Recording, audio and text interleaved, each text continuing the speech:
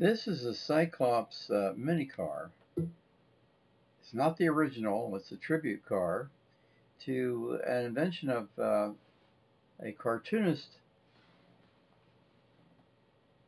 by the, by the name of Stan Mott, M-O-T-T. Yeah, uh, he made the original. It's kind of a fun car. These uh, cars have been powered by everything from uh, lawnmower engines to uh, to in this case uh, it's based on a uh, golf cart. So there have been a variety of, uh, of power systems for these. Notice the stop and go pedals there on the on the floorboard.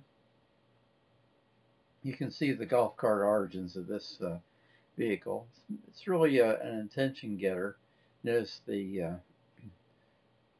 the decoration there on the inside. Uh,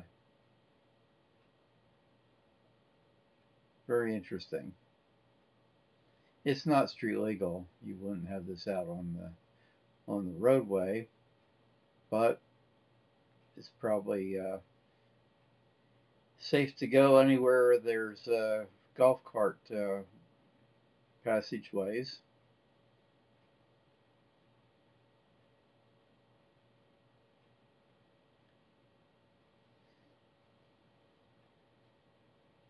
A neat little car, and believe me, it was being uh, attended to a, a lot at the show.